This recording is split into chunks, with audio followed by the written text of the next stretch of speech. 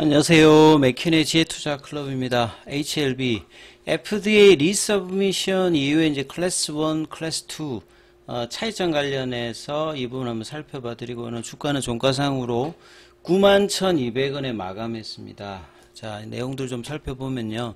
자, 뉴스원에서 이제 오후에 나왔던 기사가 조금 이제 전체적인 맥락에서 좀 나왔는데 어, 팩트하고 좀 차이 나는 부분들도 있습니다. 그래서 이 부분들을 FDA 공식 문서하고 좀 비교를 해드리겠습니다. 이게 이제 아, 보시게 되면 CDER 이제 공식 문서거든요. 예, CDER이라고 하는 게 FDA에서 The Center for Drug Evaluation and Research입니다. 그러니까 약물의 평가와 연구 관련되는 부분 여기가 이제 일단 가장 리뷰할 때 어, 주관한다라고 보시면 될 것 같고요. NDA하고 VL 하면 이제 각각 나눕니다만 이제 간암 치료제 같은 경우는 이제 CDER의 주관에서 어, 진행되는 상황이다 이렇게 이해를 하시면 될 것 같고요. 자 뉴스원의 기사를 보시게 되면 이제 전반적인 어떤 상황들이 다 나와 있어요. 자이 NDA 신청 이후에 5월 17일에 CR 레터를 받았죠. 그리고 이제 관련되는 내용을 어, 수정한 후 어, 이제 지난 이제 우리 시간으로 이제 그 토요일 뭐 새벽 정도에 이렇게 넣었고 그 확인들을 에, 저녁 9시에 이제 뭐 토요일 날 했습니다. 그리고 그 관련되는 부분에서 FDA에 어, 신약 허가 신청서를 재제출했다. 요게 이제 리서브미션이죠. 그리고 FDA가 접수가 완료되었음을 통보합니다. 항상 FDA에다가 뭐 보내면 그 관련되는 부분이 항상 이제 문서라든지 뭐 통보가 일단 와서 확인을 해준다라고 보시면 되겠습니다. 그래서 5월 작년 5월 달에 이제 NDA 신청할 때는 리보세라이 먼저 그 다음 이어서 이제 캄넬리주마브 항서제약 관련되는 부분이 VLA 신청을 했지요. 그 뒤에 이제 filing 통과를 하고 어, 그 다음에 리뷰 과정을 어, 이제 거쳐서 올해 이제 PDUFA goal date인 5월 17일의 마지막 날에 어, CR letter를 받았습니다. 엘레바와 항서제약이 CR letter라고 하는 말은 그냥 현 상태로는 안 되니까 추가적으로 수정 보완을 하라고 하는 이 hold 메시지다 이렇게 이해하시면 됩니다. 그래서 이걸 재개하기 위해서 이제 세 가지 이제 사항을 할 수 있습니다. 왜냐하면 이게 무한정할 수 있는 게 아니라 1년간 뭔가를 어, 준비가 되었으면 재제출을 할 수 있습니다. 그러니까 1년 안에 내가 뭔가를 못할 만한 뭐 재임상을 해야 된다든지 어, 데이터를 확보하는데 어, 제출할 데이터를 확보하는데 시간이 부족하다라고 하면 이제 두 번째가 이제 철회 withdraw를 선택할 수 있습니다. 이게 준비가 되어야 다시 이제 넣, 는 거니까요. 그리고 이제 이게 부당하다라고 하면 이제 공청회 요청까지 합니다. 근데 이제 대부분은 이제 resubmission 하는 형태가 뭐 된다라고 봐야 되겠죠. 그래서 이번 사례도 어, resubmission 하는 형태로 어, 진행이 되었고요. 그리고 CR letter를 수령할 때 두 가지를 지적받았는데 주로 되는 이제 뭐 BIMO 관련되는 부분에 FDA가 해야 되는 거고 어, FDA가 이제 7월 달에 Type A 미팅을 통해서도 밝혔듯이 이게 이제 CR 레터를 받았던 이유가 아니랬기 때문에 이 부분은 FDA가 해야 되는 부분이고 결국 CMC 관련되는 부분이죠. 그리고 이 관련되는 부분에서도 이 post 어, action letter의 7월 달을 어, 보게 되면 그 항서제약이 이제 작년 12월 달에 이제 실사를 하고 난 다음 실사 보통 이제 뭐 2주 정도 하니까요. 어, 그리고 그걸 받고 이뭐 빠르게 이제 뭐 보안 신청 CAPA라고 하는 요 과정을 올해 1월 달, 2월 달에 이제 두 번 정도 어, 답변 내용을 이제 제출했어요. 그래서 이제 이 부분에서 추가적으로 뭔가 필요한 부분이 있느냐 이렇게 물었을 때 어, 7월 달 미팅에서는 추가적으로 뭐 지적할 사항이 없다. 그러면 이제 준비되는 대로 빨리 넣으라고 아, 7월 이제 타이베이 미팅에서 이야기를 한 사항이죠. 그래서 이제 FDA 이제 미팅 이후에 그 전체로 보면 이제 기준을 따질 때는 5월 17일 기준입니다. 5월 17일 기준으로부터 며칠간. 예, 그래서 보통은 3개월, 6개월이 그 리서브션 얻는 어떤 기간이라 본다면 한 4개월 정도 걸렸으니까 평균 정도입니다. 그러면 어 그 이번에 이제 하는 거는 이제 뭐 CDER이니까요. 그 요거하고는 이제 뭐 상관이 없습니다. 그래서 예, 30일 이내로 하는 아, CDER 여기 이제 규정을 이제 따른다라고 보시면 될 거고요. 그래서 클래스 1, 2라고 하는 것은 이제 어떻게 이제 하는지 여기서 설명을 조금 해놨어요. 아, 클래스 1과 클래스 2에서 뭐 labeling, labeling 초안, 안전성 업데이트 이 안전성 업데이트 관련되는 내용이 있잖아요. 그렇기 때문에 이번에 그 정세호 엘레바 대표가 정례적으로 이 부분이 필요하다는 이야기를 한 것은 이제 어, 클래스 1 관련되는 부분 여기 이제 내용이 있는 거죠. 그리고 승인을 뒷받침하기 위해서 사용된 마지막 한 개, 두 개의 로트라는 말이 나오잖아요. 그러니까 이게 용어가 어떤 거냐면 보통 이제 우리 어, CMC를 하게 되면 CMC를 하는 볼, 볼, 어, 가장 근원적인 목적은 임상에 사용된 약의 안전성과 유효성이 대량 생산을 해서 상용화 이후에도 동일한 어, 부분이 효과를 내는지 이걸 이제 검증하는 게 이제 CMC라고 보시면 되겠거든요. 그러면 이제 생산 과정에서 이 승인을 뒷받침하기 위해서 이 생산할 때 로트라고 하는 것은 로트보다 단위가 좀 큰 게 이제 배치라는 개념도 있는데요. 동일한 어, 제조 조건에서 그러니까 생산 과정이라고 보시면 되겠죠. 약에 대해서 어, 균이란 어떤 특성을 가진다라고 보여지는 그 의약품 의약품의 어떤 일정 단위가 로트인데 그걸 하나만 보는 게 아니라 마지막에 이제 한 개, 두 개. 이걸 더 크게 해가지고 이제 뭐 보통 이제 몇 batch를 돌려보고 이제 이렇게 하면서 안전성, 유효성, 생산시설 점검을 할 때 쓰는 단위다. 이렇게 보시면 될 거고요. 이전에 신청서에 포함된 데이터에 대한 사소한 재분석 데이터. 이런 게 이제 사소한 수정 사항으로 이 클래스 1은 2개월 정도가 리뷰에 사용됩니다. 클래스 2는 반드시 자문위에 이 소관으로 넘어가니까 자문위 개체가 되는 거죠. 그게 오, 예, ODAC가 이제 진행이 되고 여기에 이제 데이터가 가, 가는 어떤 과정이니까 시간이 더 걸리겠죠. 개체하고 또 리뷰하고 그 다음에 이제 클래스 2 같은 경우에는 어, 그 현장 실사를 더 하는 경우라고 뭐 쉽게 생각하시면 됩니다. 예. 그래서 이렇게 하면 이게 이제 6개월 정도 걸리는 거죠. 어, 그래서 만약에 이제 요것도 좀 잘못된 게 11월 품목허가 승인 결정일을 받아 이게 아니고요. 어, 이제 이런 클래스 1, 2를 그 결정하는 acceptance letter를 CDER에서 그 한 1개월 이내에 보내줍니다. 그럼 거기에 클래스 등급이 나누어지고 어, 거기에 그 PDUFA goal date도 잡힙니다. 예. 그러니까 그렇게 이제 이해를 하셔야 되고. 그러니까 클래스 1, 2냐에 따라서 2가 되면 이제 뭐 내년도 어, 클래스 1이 되면 11월인데 11월 며칠까지 되느냐. 그것도 acceptance letter에 이제 어, 통해서 알 수가 있다. 이렇게 이제 이해하시면 됩니다.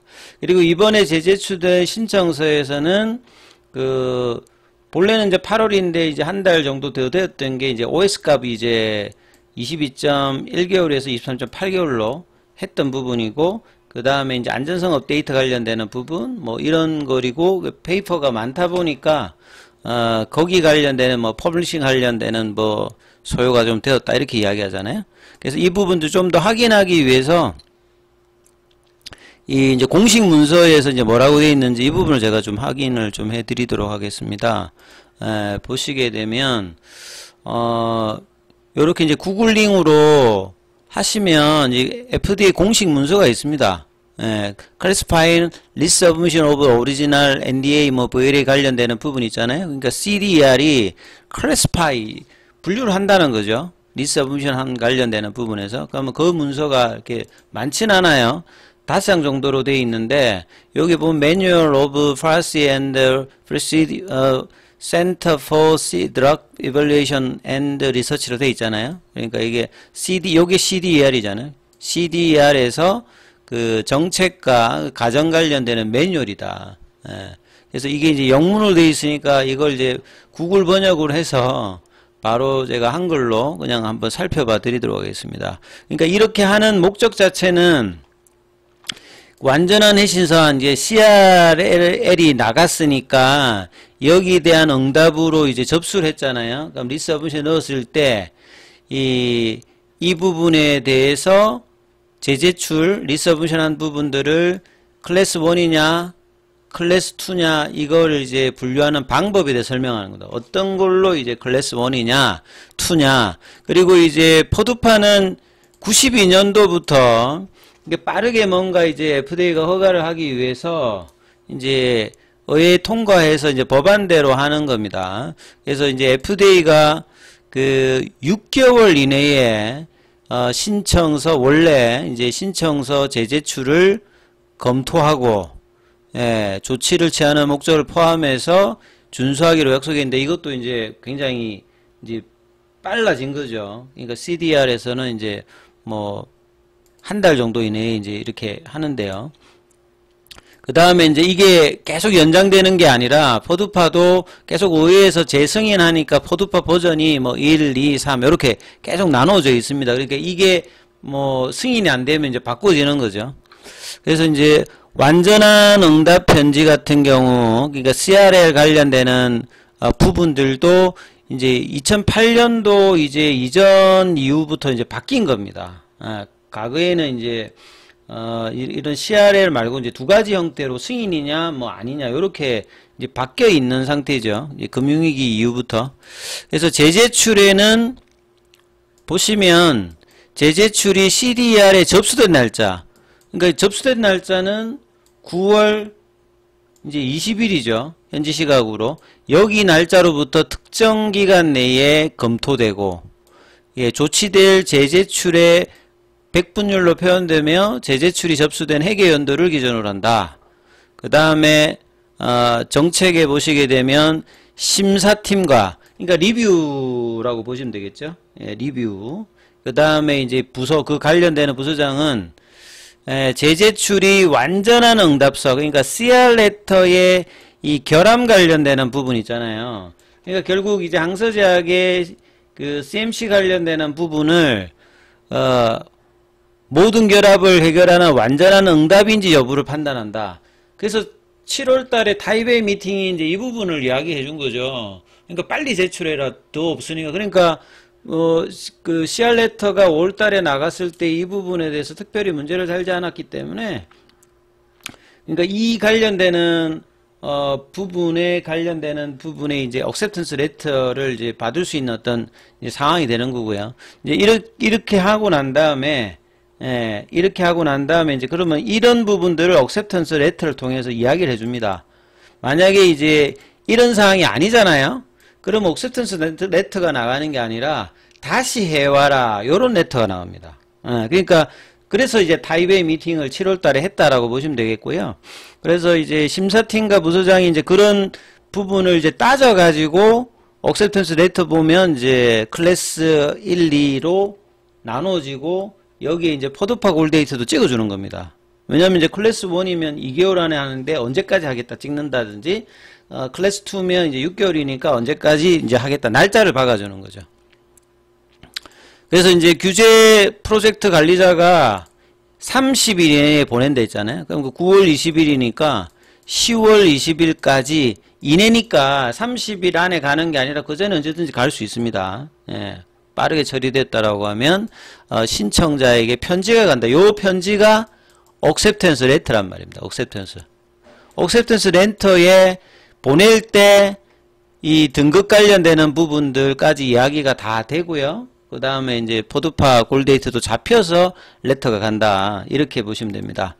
자, 그래서 CDER에서 제출물이 완전한 응답의 모든 결함을 해결하는 완전한 응답이라고 동의하지 않을 경우 CDR은 해당 서한의 신청자에게 이를 알리고 완전한 응답까지 검토 시간이 그러니까 뭔가 보냈는데 그게 미흡하다라고 하면 미흡하다라고 또 이야기를 하고 어 이제 그게 완벽하다라고 하면 이제 등급을 간다 이렇게 보시면 되겠습니다. 디테일하게 이제 이해를 하시면 될 것 같고요.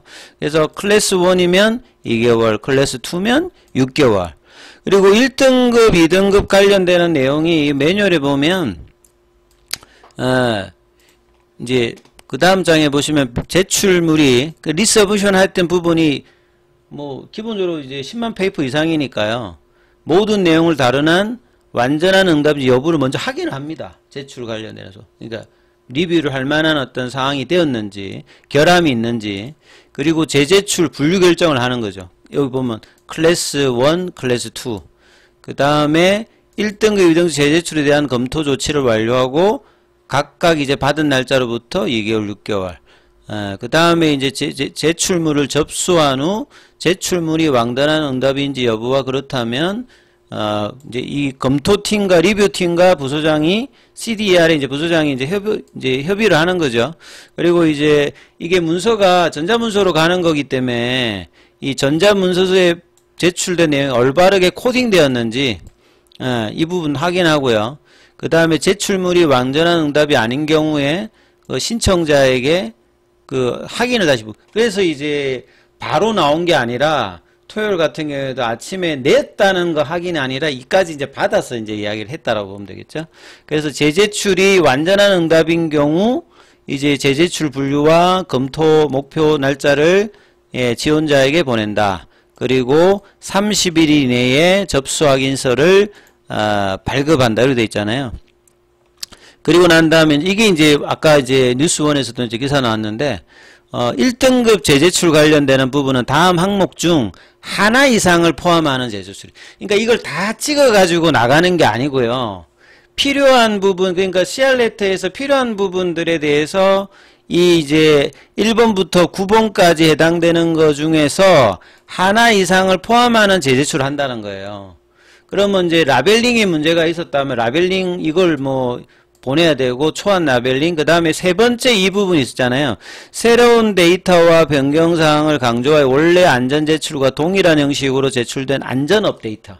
항서제약이 감리조합에서 이 부분을 이야기했던 거에 대해서 이제 정세호 대표가 이거 정례적인 것이다.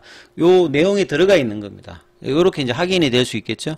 그 다음에 임시 또는 최종 날짜를 지원하기 위해서 안전성 업데이트. 그러니까 안전성 업데이트 관련되는 부분은 분명히 요, 요번에 이제 낼때 어, 들어갔으니까 그거 이상의 뭐 필요한 부분들을 뭐 해서 넣었겠죠. 그 다음에 뭐 사후 마케팅 요구사항 안전 논의 뭐 이제 프로토콜 포함 그 다음에 뭐 검증 데이터 뭐 데이터를 요구했으면 뭐 이런 것들이 이제 이런 1번부터 9번까지 해당되는 부분들이 나온 그 다음에 이제 보시면 마지막 한 개, 두 개 로테된 최종 release 테스트 있죠. 그러니까 뉴스원에서 나왔던 게 이제 이런 내용들을 그냥 다 그냥 다 이야기를 해줘야 되는 겁니다. 그러니까 이걸 다 준비하는 게 아니라 하나 이상을 하는 겁니다. 하나 이상을. 예. 그 다음에 이전에 신청서에 제출된 데이터의 사소한 재분석. 예. 그 다음에 기타 사소한 명확한 정보. 뭐 요런 거 이제 내는 거고요. 2등급 이제 재제출 관련되는 부분이라고 이제 어, 하는 것은 그러니까 어떤 걸 냈느냐에 따라서 이제 이런 내용들이 나갔으면 1등급에 해당되는 거고 2등급 재제출은 자문위원회가 반드시 개최가 되고요. 여기에 제출하는 그 항목을 포함해서 1등급 항목으로 지정되지 않은 항목을 포함하는 재제출. 그러니까 여기에 해당되지 않은 다른 게 이제 뭔가가 들어간다든지 이제 현장에서 실사를 해야 된다든지 이러면 이제 2등급 이제 재제출 되는 거죠. 예. 그래서 요렇게 이제 어 생각을 하시면 어 될 것 같고 이 차트 관련되는 부분은 또 이제 다음 영상에서 살펴봐 드리도록 하겠습니다.